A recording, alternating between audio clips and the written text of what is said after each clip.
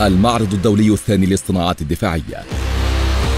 إيدكس 2021 شركات عالمية لعرض أحدث المنظومات الدفاعية على مستوى العالم في الفترة من التاسع والعشرين من نوفمبر 2021 وحتى الثاني من ديسمبر 2021 بمركز مصر للمعارض الدولية. تحت رعاية السيد الرئيس عبد الفتاح السيسي رئيس الجمهورية القائد الأعلى للقوات المسلحة.